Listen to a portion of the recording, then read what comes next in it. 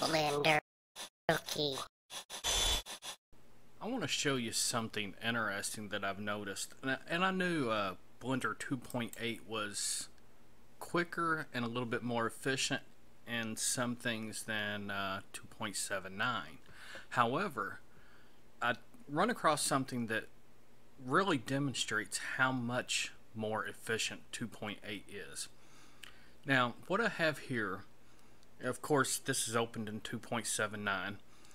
I have a molecular script simulation and it's already baked. So, since it's already baked and it's basically just a particle system, I can open this molecular script scene up in 2.8 even though the molecular script add-on doesn't work for 2.8 because once it's baked it's baked but anyway I'm gonna move to a random location in the middle of the uh, timeline and then look how long it takes to change locations now you probably didn't hear it click now I'm gonna say click whenever I click the mouse to move to a different location click.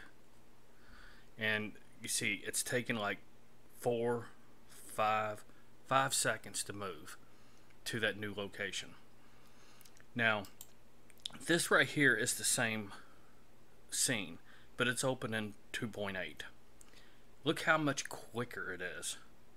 Click, click, click.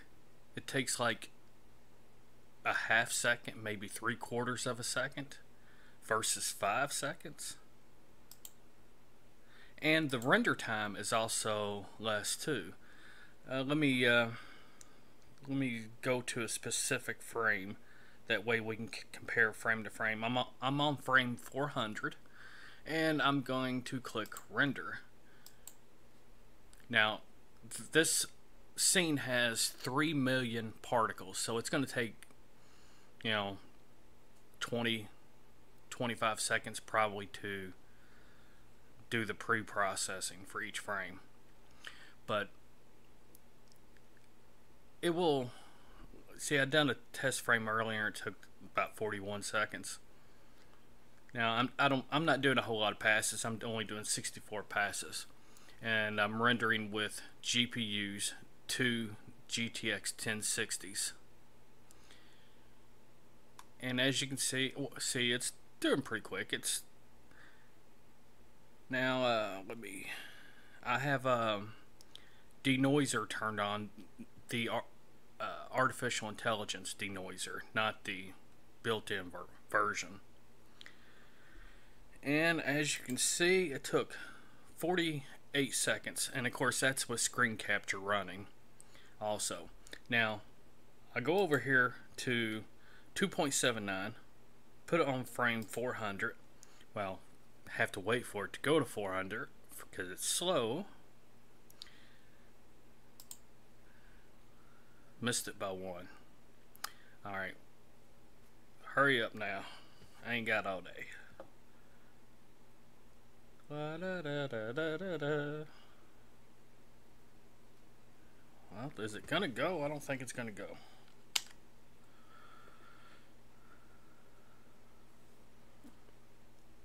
There we are.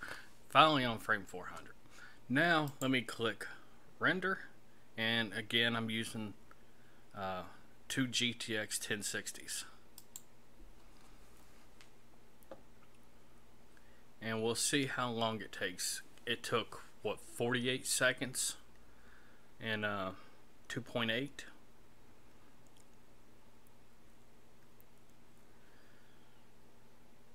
It's, it looks kind of like this part is a little bit slower in uh, 2.8, uh, pardon me, in 2.79 also.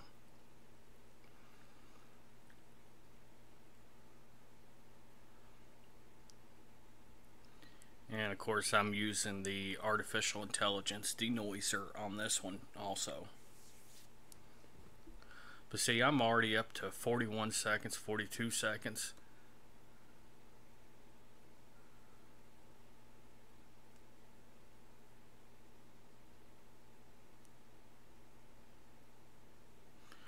There, there you go. It took 55 seconds.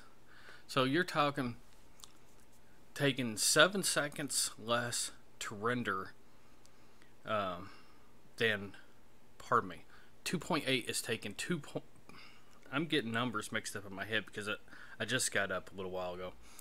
I haven't had my coffee yet.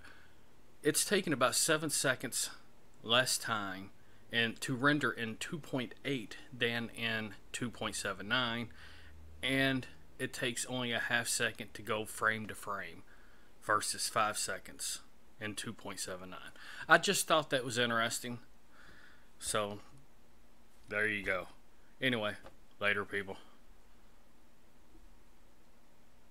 Thank you for watching this video. Here are four other videos you might like. If you liked this video, please give it a like, share it, or leave a comment. I try to respond to every comment on every video regardless how old the video is. Also, please support your favorite YouTubers by disabling ad blocker. Thanks again. Later.